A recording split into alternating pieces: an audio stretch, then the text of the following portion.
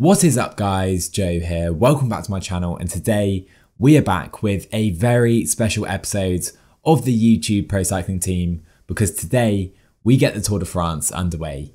And of course, we're just coming off the national championships. Benji and Blackwar did very well. We've got quite a few jerseys in the bag, uh, so hopefully we'll see some on show in the tour.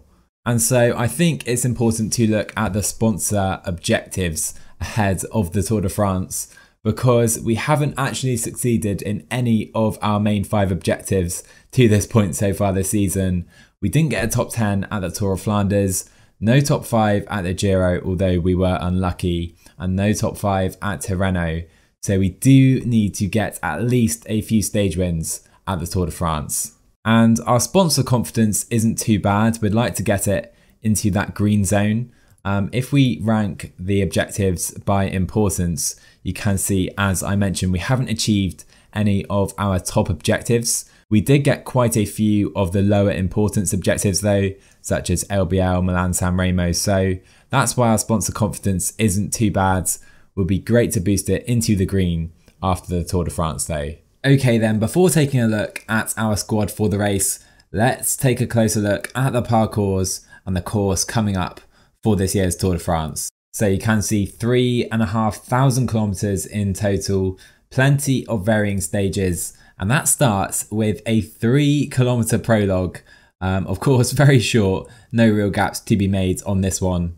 However, stage two, probably one for the sprinters, despite there being some climbing involved. I can see this being a mass sprint. Stage three comes around, and this has the potential to be a big day for the GC guys in the first week of this race. Plenty of climbing, 3,800 meters in total, very early in the race. Stage 4 and another break for the GC guys again. I expect this to go to a mass sprint and stage 5 a very flat one. Pretty certain to be a sprint here as well. Stage 6 and we do have one major climb, a first category climb um, and then downhill to the line. So maybe a reduced sprint but I can't see any gaps being made in the GC today. Stage 7 and some crazy final climbs.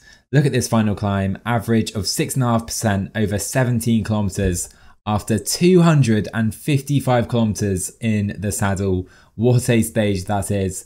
Stage 8, plenty more climbs again. Some difficult stages back to back for the GC guys. And that's followed with a flatter stage. There are some short hills, uh, but probably a mass sprint again. Stage 10 and more of a hilly stage, although the final climb quite long at 7.2k and pretty steep as well. Stage 11, again, maybe a mass sprint in this one. Uh, there are some hills towards the beginning, but one of the flatter stages in the race. Stage 12 though, and we go up Mont Ventoux, pretty much flat all day until the final mountain, 21 kilometers, average of 7.7%. Stage 13, and we do have the second TT of the race, and 39 kilometers certainly could make a big difference in the GC. On to stage 14, into the final week of the race, and we're going to Belgium briefly uh, for the Mur de Huy, of course, the climb that uh, La Flèche Wallonne finishes on. Some very, very steep short hills in this one. Stage 15 though, back to the mass sprint, I would say, despite some short hills again. Stage 16, and we do have one final climb, definitely one for the punchers, I would say. Stage 17, and again, a flatter stage. Uh, there are quite a few stages, I think, that suit the mass sprinters in this tour, but certainly not stage 18. 210 kilometers and 5,500 meters of climbing. An insane day in the GC. Stage 19, plenty more climbing again, this time with a downhill finish. Stage 20 and one of the queen stages of the race. Again, 5,500 meters of climbing a very long stage as well before finishing on Champs Elysees. However, not the usual mass sprints because we have a 29 kilometer TT coming into Paris. So, leading our GC charge at this Tour de France, we do have TJ Van Garderen and Patrick Konrads, two kind of joint leaders. It's going to be interesting to see how these guys do. Uh, I'm not really sure who's going to be the out and out leader at this point. Uh, so we go in with two joint leaders. They're both in very good form before the race though, uh, so we'll see how this plays out. And leading our sprint team is the Colombian Sebastian Molano. He's had a very good season so far. Um, as we know, there's not too many stages suited to him, uh, but hopefully we can get some good results and maybe a stage win. And then really we have a bunch of Baroudeurs and Domestiques. We have Edvald Boasson and Luis Leon Sanchez. Two Baroudeurs, I would say. EBH is also going to be a lead out man uh, for Sebastian Molano. Uh, but these two guys really are going to be trying to stage hunt in the breakaways. We then have Stefan de Bod, who's proved to be a pretty good climber so far this season. Tobias Foss, who of course won the Tour Down Under. He's proven to be a very, very good rider for the UCI Pro Cycling team. So he has a place at the Tour de France. And then the final man in the squad is Frenchman Benjamin Thomas. He's going to be a good man for the TTs. And of course, he's going to be a lead out man for Sebastian Molano. And so then let's kick off the Tour de France with a three kilometer prologue, really, um, in Ajaccio, I think you say. And you can see the favourites today Roglic, Wout van Aert, Schachmann, some very good riders here, of course. And we have a few good TTers with the likes of Van Garderen, Tobias Foss, and a few others. So hopefully we can put in a decent little performance. So before kicking things off, I do want to take a quick look at the start list for this year's tour. And you can see Julian Alaphilippe leads Quickstep. We've got Van Aert, Kruijswijk, Roglic for Jumbo Visma. Fuglsang is here. We've got Sagan and Emmanuel Buchmann, as well as Maxi Schachmann, to be fair. Good team for Bora. We've got Gilbert De Gendt, Caleb Ewan for Lotto. Politt is here. Trek with a very strong team, the likes of Stuyven, Ciccone, Mollema, Nibali, Porte. Such a strong team for Trek Segafredo. We have Tadej Pogacar. Interesting to see how the youngster will get on with a strong start list at this race, with Team Ineos led by the two Brits, Geraint Thomas and Chris Froome. That means no Egan Bernal and no Richard Carapaz for Ineos in an almost full British squad.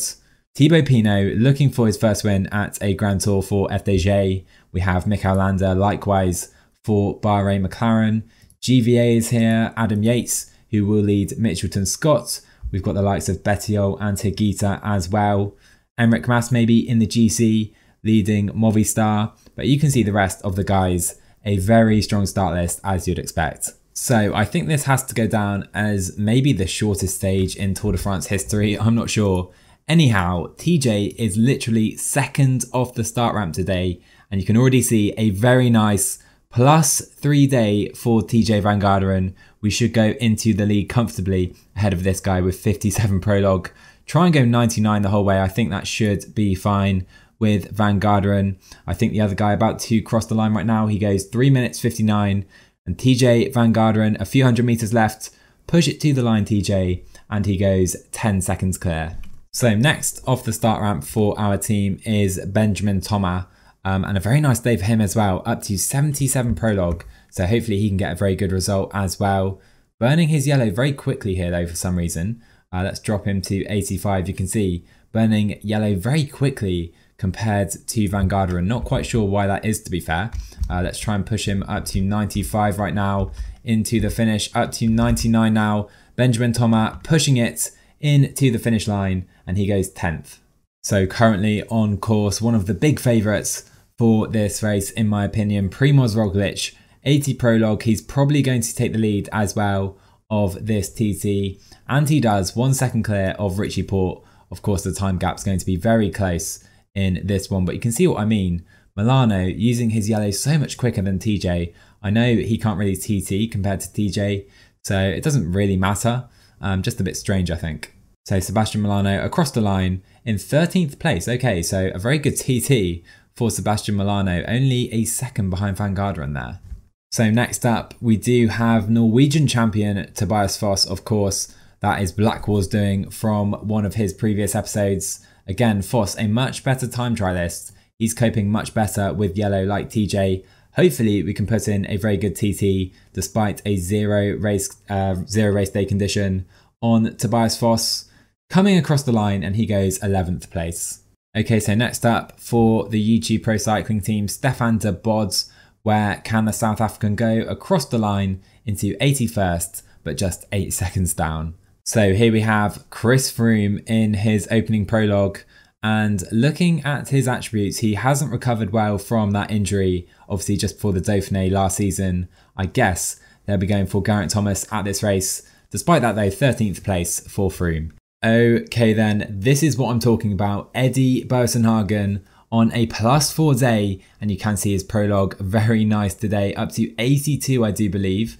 Let's see what we can do. He's burning through his yellow quite quickly. Let's drop this to 95 uh, on a short downhill section, down to 84, up to 90. Can we go like this to the line? Maybe 95. Come on, Eddie. Can we maybe challenge for the stage right here? I think we went too early and we're down in 24th. So next up, we do have another one of the big pre-race favourites, I would say. Emmanuel Buchmann crossing the line. Where does the German go? 13th, three seconds down. Decent time for him. We have Laurens de Plus on course right now, Ballerini, Barguil, and then Patrick Konrad. So here is our Austrian Patrick Konrad about to get underway. He does get a zero, would have liked a bit of a better race day condition. He's burning his yellow quite quickly again, so we'll drop this maybe to 88 or 90. I'm not gonna lie, I'm pretending I know what I'm doing in this really short TT. No idea what effort I should be going at. Let's try and up this maybe to 93, burning it a bit quickly, down to 90, 99 across the line, and Patrick Konrad five seconds down. So it'll be interesting to see how Adam Yates can do at this race. Up to 79 mountains, some very good resistance. He is a decent little rider, the Brits, these days for Mitchelton Scott. Across the line, and he is 77th. Not a good prologue by Adam Yates. Further back, we have Mikel Landa. Of course, Freelander will see what he can do in this opening prologue.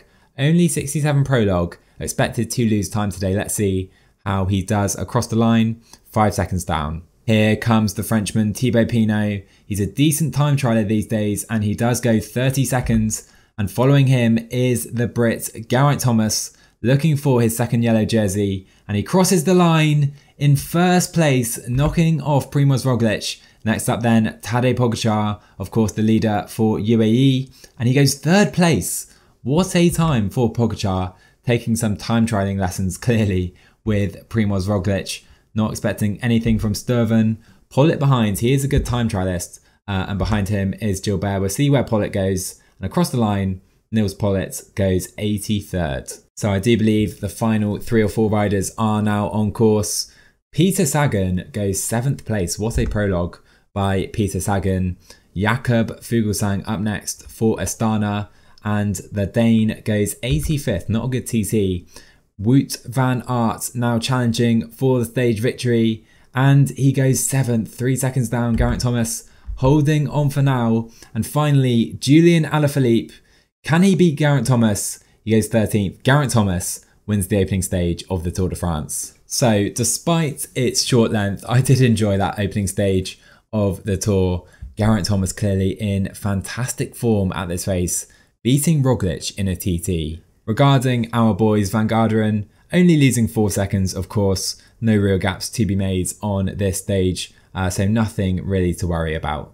Alright then, on to stage 2, and I believe this is where the Tour de France really will get underway. You can see it is a flat stage despite quite a few hills earlier on, a 13 kilometer climb and definitely a chance to drop some of the sprinters potentially. And that means Alaphilippe, Sagan and Van Aert are the favourites today. Stage 2 getting underway, you can see EBH looking very nice in that Norwegian jersey. Um, and I do want to go in the break today. Um, I was planning on going with Sanchez. He is uh, feeling a bit ill, but he is on a good day, it seems, a plus one. So I think we'll proceed with him in the break. So Sanchez coming towards the front and just 12k to go to that first KOM. Let's try and attack away right here. We do have one or two guys following us already. I did think about going with EBH as well, and I may try and follow with him in a second. Let's see. Here we come then into the first mountain sprint of this Tour de France. Like I said, just one point available, but we'll try and get into that polka dot jersey by the end of this stage. We're leading things out on the front as it seems Kevin Inkelaar trying to come past us. I'll sit in his wheel for the moment. It's about to get even steeper. I'm pretty sure he has gone way too early on this climb, 700 meters. Now time to try and attack him with Sanchez. And we seem too strong. Ventoso coming late, but Sanchez will take that single point. So we're just coming towards the top of this climb and we do have five mountain points available. So pretty important right here. Let's try and move to the front of this group with Sanchez as Inkelaar again leading things out from the front or at least trying to into the final kilometer right now. I think we can go a bit earlier this time with Sanchez. Inkelaar tries to switch things up and follow us, but I think we're going to take these with relative ease. Although, oh my word, I spoke too early. How did he take those points? Right, so Hänninen, 64 sprint, 68 acceleration. He bombed past us like he was Peter Sagan right there. Oh my words. Anyhow, despite that catastrophe at the top of that climb, everyone's staying in the peloton fine for now in our team. Although we do have one rider struggling out the back, Luke Rowe, he's about to come back on. Alright, so we are now approaching this intermediate sprint and I do need to be careful because it is coming after an uphill section and I do want to challenge in the peloton with Molano and Toma. And you can see a small gap between these two groups right now. They're not giving this break any chance at all today. Uh, so let's try and take these points in both of these groups if possible. Uh, you can see the pace really being up now in uh, the breakaway. Let's come to the fronts with Toma and Molano. It's far from ideal. Don't think I'm managing this at all well right now. Uh, so Sanchez, I think we can maybe sprint with 1.5k to go. Where is Molano? He's way too far back. I don't think we're going to be able to take any points with Sebastian Molano. Let's just take position. Sanchez challenging for those points. I think we just about got them in the end. Was very, very close. Uh, Hänninen again beating us in that sprint. Uh, and yeah, we're not going to challenge. Weren't in a good enough position at all. Let's save our energy for the finish. So I know I've mentioned it in the prologue, but the effort put into these stages by Emmy is incredible. Honestly, if you guys get the chance, you should definitely try and rise some of his races. So pace in the peloton pretty high right now. They're definitely not giving the break any leeway today. Anyhow, 2.5k to go to this next KOM sprint. I do want to move up a little bit with Sanchez. Let's do that right now. Inkelaar on our left, still 2k to go, and it is quite steep to the line, but I think we're in a very good position right now. Inkelaar, I'm expecting to try and attack past us. Here he comes, Hänninen on his wheel. I think we can just go 99. I'm not going to follow him. I think we're in a pretty decent position. Can we hold this to the line though? It's going to be pretty difficult, I think. Let's try and sprint right now with Sanchez over the top of this climb. And we just about hold off Hänninen on this occasion. And we're both on six points. So as we approach the final categorized climb on today's stage, it's going to be a showdown between Hänninen and Sanchez to get into that polka dot jersey. At the moment, we're both on six points, and whoever takes this climb will wear it in stage three. Right, this is the moment. 3k to go, just one point on offer, but it is a very important point as we know. Two and a half k to go. I'm going to up this to 84 with Sanchez. Try and stay right on the front. Um, it is Manzin on the front for Total. He is now upping the tempo. I'm going to go 90, try and go my own tempo, maybe follow him, Briefly, we'll follow him right now into the final kilometer of this climb, but we're in a very good position. Can we try and attack right now with 700 meters to go? Maybe I've gone too early. Here comes Hänninen going for that point. Can we hold it? Oh my word, it is close, but Sanchez just strong enough. We will wear the polka dot jersey in the next stage. And back in the peloton, a few of our guys really struggling. You can see Stefan de Bod completely done at this point, it would seem. Let's just try and cling on at the back right here for a moment. We can maybe stick Konrads on Van Garderen's wheel. Uh, but yeah, they're setting a very high tempo and a few guys have been caught behind. So I have just had a quick look and we do have Dainese and Bol behind, probably the two best sprinters in these groups behind. As we have a very big moment because Tobias Foss and Konrad have both fallen. Just three riders down. Caleb Ewan down as well. Okay, we need to react very well to this. Foss and Konrad now in this group behind. Lotto Soudal will try and wait, I assume. So let's just let them do the work. So these groups just about to join back up. And you can see Konrad's just getting back in to the peloton right here. It's very close. Apparently there is still a gap. Let's take position, not force it. Let the other teams do the job. We don't want to do the pulling with Patrick Konrads. And there you go, we are now back in this group officially. Take position to the front. You can see De Bod, Thomas and Foss really struggling. Okay, so Julian Alaphilippe has been caught behind right now for Quickstep. What a big moment this could be. And you can see UAE absolutely laying the hammer down, uh, trying to keep Julian Alaphilippe behind. This could be a very big moment in this Tour de France. I've just put Konrad and Van Garderen, I think, on Fuglsang's wheel as Thomas is now done. He can move over, let Sanchez do a bit of pacing, but we're just trying to stay towards the front for now. So we now have Dainese and Laporte still behind, Bol still behind, Cavagna, McNulty, a few strong riders, and Alaphilippe. Alaphilippe's gone, you know, he's not coming back on right now. Let's move up with Sanchez, use our energy gels. It's now time to think about the sprints. Molano and EBH getting blocked somewhat. It's not ideal. And uh, Quick-Step are focusing on Jakobsen right now. Boasson-Hagen in a terrible position. He's moved back up into the final 2.5k. We're going to have to sprint early with EBH. Try and put Molano in a decent position. Into the final kilometre, there's a lot of corners, but we're way too far back. Molano going to try and come through right now, but I think the win today will be going to Caleb Ewan, who's just going to finish ahead of Gaviria. Jakobsen in third. I think we'll maybe finish in the top 10. Not the best sprint. We weren't in a good position with Molano. But the big news is Julian Alaphilippe going to be gaps right here. So a technical finish to the stage today and EBH getting dropped off. Uh, it was Luis Leon Sanchez's wheel. Didn't help at all. Molano 7th. Probably the best we could have done today. A bit disappointing to be fair. Anyhow, if we scroll down, you can see Julian Alaphilippe loses 3 minutes and 3 seconds. I do not know what Quickstep were thinking today. Here we go then into stage 3 and it's a big GC day already at this Tour de France. Look at some of these climbs today, going to be very, very difficult indeed. And Alaphilippe, the big favourite, and that is no surprise to me. I expect him to bounce back with a bang today.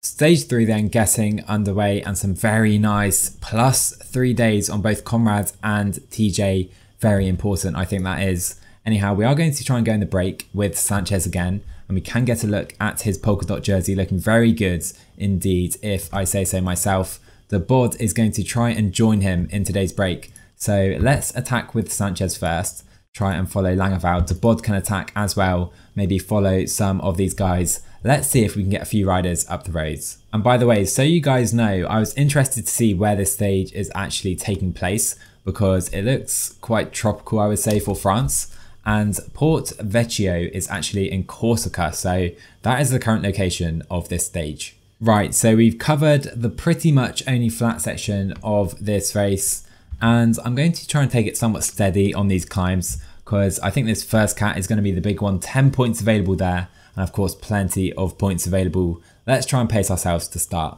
Okay, so I've managed the tempo pretty nicely. We have five minutes on the peloton and just 2k to go to this first second cat climb of the day. Of course, many points available, so not too big a deal if we don't take these. Anyhow, De Bods can now go 99, try and lead out Sanchez somewhat on to this climb. We'll try and sprint with about 800 to go with Sanchez. Let's go now. Uh, De Bod can just follow his Spanish teammate. Let's see if Sanchez can take any of these points. I think we're going to get second. Um, I believe we got second there, up to eight points now. And so I think actually Manzin did beat us along with Villella, of course. So just one point actually for Sanchez at that climb. So a similar situation as we come to the top of this first cat climb and Villella potentially uh, sensing some weakness in Sanchez and De Bod attacking very early on this climb. I'm not going to follow him. I'm going to go 90 with De Bod, try and lead out Sanchez again somewhat. You can see those guys probably very tired right now. We're now going to fly past them with De Bod, try and put them in a bit of trouble right now. 1k still to go, you can see we're very low on reds, but I think we've managed this pretty well because I do believe Sanchez can now go up to 99, try and take these points, and maybe De Bod can hang on for second place. Can we get a 1-2? I think we'll get first and thirds, but very nicely done there. Sanchez is going to be well in the lead right now. So six riders now at the front together and we're quickly coming into the next climb. As you see, there is a fall behind Valgren, Bettiol involved. So a pretty big moment right there. I'm trying to grab some water with Molano. Let's see if we can do that on the downhill. Anyhow, just one point available. Let's see if we can take it though with Sanchez. So De Bod up to 99 with 1.5k to go. I think maybe I can just follow this guy with uh, Luis Leon Sanchez. That should do the job, I believe. Into the final 800. Let's try and come past him right now. Do we have the sprint? And I do believe we will just about take an additional points up to 19 now. All right, so here we go. Another attack by Villella this time. And I do get the feeling it's going to be difficult to beat the Italian on this occasion. We will try though with Sanchez. that's trying to attack right now, but I don't think we're going to have this one. Uh, Villella has been strong today. Do we have the kick at the end with Sanchez? Going to be close. And no, we don't have that one. That is fine though. Still well in the lead. So the pace currently very high in both the peloton and the breakaway. Anyhow, we do have a third cat climb coming up, so just two points available. I do believe De Bods try and move to the front, but it's very difficult at the moment with this current tempo. Can we try and take these with Sanchez? Going to be difficult again though, I do believe. Let's see if Sanchez has the kick right now. Every point counts right here. And can we take one or two? I don't think so. We're going to be third on that occasion still on 19 points. So I think we have now lost Fran Ventoso from today's break. Anyhow, we do now have a sprint coming up. Let's up this to 99 with De Bod. See if we can come to the front. May as well try and take these points with Sanchez right here. Let's sprint right now. Um, and I do believe we will be good enough. No, we're not. Down in third place. Not sure why we're struggling with our sprint at the moment with Sanchez. Anyhow, uh, you can see Molano has now been dropped from the peloton. That is fine. Uh, we won't be going for this intermediate sprint with him. So the pace in the peloton is currently absolutely rapid, set by Quickstep and UAE on the fronts. You can see we're getting dropped right now. Let's up this to 80. Try and move up in this group as we come into this climb. Uh, Kristoff laying the hammer down on the fronts, not giving the break a chance right here. So even the mighty Jaakko Hänninen is out the back right now and just 92 in the peloton coming down though all the time. Riders scattered all across the rows. We need to up these guys to 84 and let's go effort cursor to try and move up in this group because that is proving very difficult right now. We're still out front with Bods and Sanchez, but just 20 seconds right now. I do want to stay out front until these KOM points, um, but we're going to be caught right here. Let's slow up with these guys and they continue the pace over the top. My words.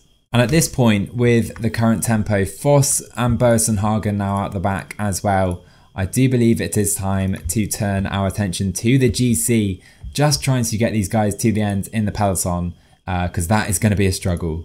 So I've just checked who has been dropped, and there is a massive surprise. No, it's not Jaakko Hänninen. If we take a look at the group ahead, Jakob Fuglsang has been dropped for Astana, and there's no chance he's coming back in at this point. So I'm attempting to just stay in this group. We're going 78 at the moment. You can see we're falling right out the back. I'm going to have to up this to 84 again. Uh, we're about to lose to Bods. Sanchez isn't going to be able to stay here too long. You can see it is big Peter Sagan on the front at the moment. Okay, 5k to go on this climb. We're literally struggling to stay here on 85. We're going to have to go 99 briefly just to bridge that small gap. It's Mühlberger on the front right now, and this is a big decision. Do I protect one of these guys? I think for now we just try and stay here with both Konrads and Van Garderen. You can see the likes of Tony Martin, Dan Martin going out the back, uh, Jonas Aguirre. We've got Rui Costa as well. We're going to have to continue to keep this pace high because this is crazy. Okay, so 2k to go. The pace does now slow.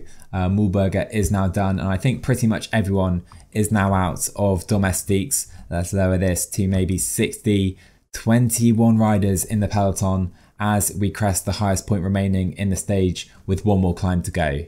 Right, so decision time again, 16k to go in this stage. You can see I have Van Garderen in Konrad's wheel. Um, I do believe the finish suits Konrad a bit more, but I do want to keep Van Garderen here for now. I don't want to kind of focus on one of these guys just yet. It would be good to keep them both in the GC battle. Anyhow, let's try and make sure we stay to the front. Right, so we do have attacks. Barguil, Landa, Yates, Alaphilippe, they're all going for it right now. We're going to have to add this to maybe 88 with Konrads. I think maybe 85 is okay because they're not really creating any separation just yet on this final climb, but maybe now we're dropping too far back in this group. We'll use our energy gels as well Four and a half K to go on this climb. Mikel Landa now on the counter, Pogacar following. We're looking pretty good though with both of these guys. I think we can get over pretty comfortably in this front group with both of them. Lucky we have a plus three day today. Right, so 3k to go, and Tadej Pogacar has countered, and he is the first man to really create some separation on this final climb. Let's come up to 87 with Konrads looking pretty good right now. A flatter section coming up as a few guys going out the back. Enric Mas has been dropped. Movistar's GC leader and Van Garderen and Konrad looking pretty good. Let's go up to 92. Maybe I can put in a little attack, you know. Patrick Konrad on the attack for YouTube Pro Cycling and he will crest the top of the climb in first position. Right, so into this downhill, we have about 15 seconds with Konrad. Do we have enough to go 99 to the line? Let's drop this to 85 because we have 20 seconds on the peloton. Could this be the moment? Our first victory at the Tour de France. We're just about holding on with Konrad. Maybe we can even go into yellow. Oh my word, I'm getting far too excited. Maybe up to 99 into the final kilometre. We can sprint with Van Garderen as well. But Patrick Konrad wins stage three of the Tour de France. What a moment for the team. And TJ finishes with the other GC guys. What a perfect stage. And dropped today, we have the likes of Enric Mas, De Plus, who has 79 mountain, Dan Martin, Richie Portes, and of course, Marc Soler as well. If we scroll much further back, he's so far back, Jakob Fuglsang is somewhere in these groups behind. What a moment, guys. Patrick Konrad attacks over the top into the downhill and he takes 20 seconds on the rest of the guys. You know what that means. We are in yellow, baby. Okay, that was a mental stage. I can't quite believe what I've just seen, honestly. Um, I didn't quite expect it to be so selective, even though there was so much climbing. On stage three, I didn't expect uh, the AI to really go for it, but Enric Mas, of course, Fuglsang getting drops, really, really tough stage. And to win it with Konrads, honestly, I can't believe it. Okay then, this is a big moment. Clearly Fuglsang was struggling in the last stage and he has been hit by a virus, so he is pulled out of the tour. So stage 4, I think a good chance for the sprinters today. Coming into Bastia, Gaviria, Ewan and Sagan the favourites. We will of course ride for Sebastian Molano. Oh my, look at this. What a beautiful sight. I didn't expect to see this in this race, I will be honest. Uh, but we're seeing already in the first week. Konrad's in yellow uh, and also Sanchez in polka dot still. Anyhow, there aren't too many points available today, and Sanchez another minus day. I think I'll keep everyone in the peloton. Okay, so we have had a pretty smart move, I would say, from Hänninen and Villella. They have um, attacked after that early break were caught very easily. They now have three and a half minutes and they're picking up a few scrappy points here and there. I don't think they're going to get enough to overtake Sanchez. Uh, we'll see though after the final climb. So Villella over this climb right here, up to 16 points. Hänninen still on six. So Villella has taken all of them so far. Um, and he's going to be, I think, one behind Sanchez, assuming he takes that final third cat climb. Okay, then 18k to go in this one. This will be a mass sprint.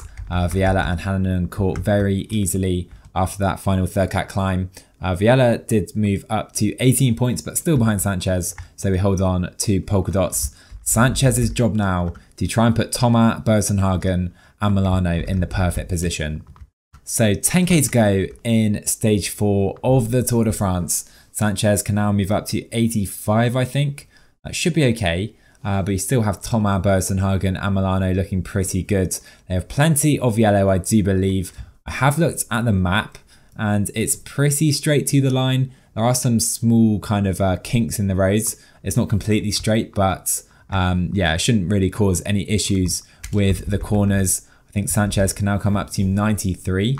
We can use everyone's energy gel. That's the easiest way to do it, I think. Coming now into the final 5k of the stage. So I think Konrad and Van Garderen will be fine. Thomas now up to 99, maybe gone slightly early with Thomas coming into the final 3k. Uh, can we drop it now? I think it's too late probably. We'll stay like this then. Boasson-Hagen next to go up to 99. Thomas, a great job. Boasson-Hagen putting Molano in a very good position. We can sprint with 1.7k to go. Molano in a very good position right now into the final kilometre. Let's try and take it in a sprint. Jakobsen looking good. Démare coming late, but I do believe Jakobsen just ahead of Ewan. Démare in third. We get fifth in the end, but very, very close in the final sprint. So we end up with fifth, but that was really close in the end between the top five. EBH got sixth, but he was about 50 meters by Molano when he crossed the line. So really, really close between the top five. Sadly, not to be for Molano. Right then, stage five, and I do believe this will be the final stage of this episode. And what a crazy start to the tour it has been for the YouTube Pro Cycling team. Let's see if we can get one more stage win. Um, starting in Marseille today, it's a long stage, over 210k, probably will be a mass sprint. Let's see what Molano can do. Okay, so we are underway for stage five, and I do think I will try and go in the breakaway today with Sanchez. Let's attack right now, um, and mainly the reason is just to try and challenge for that single point. Right, so 2k to go to this first KOM, and it does flatten off right here, so really this is just a sprint. Let's try and lead things out from the front if we can with Sanchez. Up to 99 into the final kilometre. Surprised there's no attacks just yet. Let's go though into the final kilometre. Can we hold this to the line? I don't think so. Nowhere near in the end. Um, and to be honest, I was thinking I'd drop Sanchez back after that climb, but we may as well stay here now we're in the break. So 100k into the stage, the break of three minutes on the peloton, and really can't see any other result right now other than a mass sprint. So I just let Sanchez get caught by the peloton. You can see 33k to go. The break have just over a minute, but yeah, no chance as I expected. Okay, massive moment, 10k to go. I was just about to say we created a very nice lead out, but Molano is down with EBH. They can both continue, luckily, uh, but that could well be our sprint over. Okay, what a big moment that is. I did not expect that to happen, of course. Um, but we're going to have to regroup. I don't think Molano's going to be able to get back in here and to the front in time. Really doesn't look like it at this point. Let's rethink things. So Molano is now back in the peloton. He's on 85, trying to make his way to the front. Uh, but as you can see, doesn't look like that is going to happen at all. May as well give up on that. I'm following Michael Matthews with Benjamin Thomas, who is our emergency sprinter in this one. Uh, we're in a good position into the final 2K. What a miraculous win this would be. Thomas, 71 sprints following Matthews. Gaviria with a very nice lead out. That sprint with everyone, but no chance for Thomas today. Up the roads, Caleb Ewan holding on ahead of Moschetti and Michael Matthews for his second stage win of the race. And for us, Thomas will maybe get a top 10. Pretty good result actually. Um, and of course, will stay in yellow what an unfortunate moment that was to fall. If it was 10k earlier, 20k out, I think would have had enough time to recover, uh, but Molano just couldn't get to the front of that group.